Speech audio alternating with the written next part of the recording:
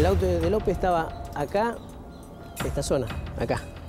Con luces prendidas. Con las luces prendidas, en marcha. El muchacho este, el que llamó, nos hace seña que, que él había llamado, que era Jesús. Entonces me, me comunico con él y me dice que el, el mismo había entrado un muchacho, un ciudadano, al convento que había tirado unas bolsas, de los cuales también saltó el muro y, digamos, no, no volvió a salir. Parecía un relato increíble que una persona estacione el auto, salte ese muro y que intente tirar unos bolsos. Claro, exacto. Entonces él nos comunica que no salió más. Yo le digo, ¿pero seguro que no sé? No, me dice, no, la verdad que no salió más.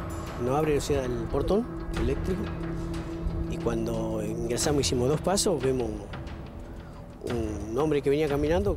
Yo le digo, allá viene un loco, que era este, este López, le digo, que se venía acercando, venía comiendo con una bolsa. Le digo. ¿Cuál era la actitud que tenía López? Y hasta ahí, hasta ahí venía el hombre, venía tranquilo, con- comiendo los, los escones. La verdad que venía muy tranquilo, no, demasiado tranquilo por, por la forma de venir. Entonces llegó más o menos a 3, 4 metros cuando yo le digo, le digo que si era el Monseñor Laguna, lo cual él me responde no, que hace 20 años, eh, hace 20 años murió.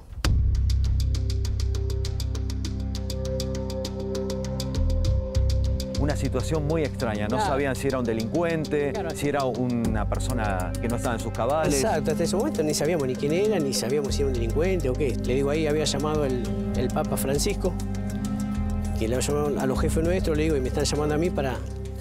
porque quieren saber qué es lo que tiraron, qué es lo que tiraste acá adentro, le digo, esas bolsas, queríamos saber. Le digo, porque el Papa quiere saber, le digo, ¿qué, qué es lo que tiraste? Y él me decía, ¿el Papa? dice, sí, le digo, el Papa te llamó, le digo. Y estaba, le digo, llamando, este hombre, le digo. Me dice, pero seguro el Papa sí. Sí, le digo, quiere saber, él, le digo, qué es lo que tiraste acá para, para saber eh, qué es lo que hay en la bolsa.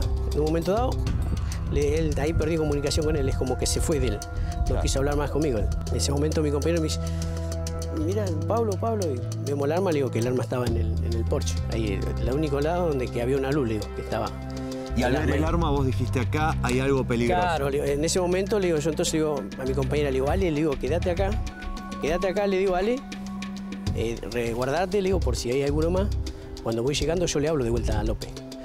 Eh, le digo unas palabras y me la balanzo a él. Y me la balanzo y él, me voy contra el móvil y le digo a mis compañeros, le digo, tiene un fierro, tiene un fierro, yo vamos a pasar, tiene un fierro. Entonces ahí el hombre ya medio que se resistió, pero ya yo le había agarrado el cuello y del brazo, y del otro lado una compañera le agarra el brazo, y entonces otras dos personas policial me dan los ganchos y lo, lo.